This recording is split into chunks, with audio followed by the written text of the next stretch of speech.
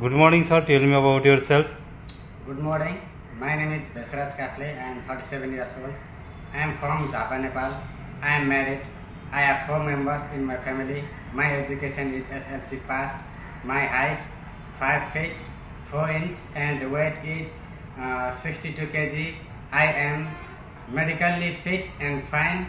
I have three years uh, three years of experience as a warehouse worker in Nepal. My duties include loading, unloading, racking goods, labeling, record keeping. I want to come to any European countries as a warehouse worker to earn money and support my families, secure my future.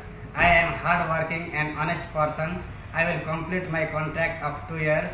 Also, I will follow the company rules and police. Thank you.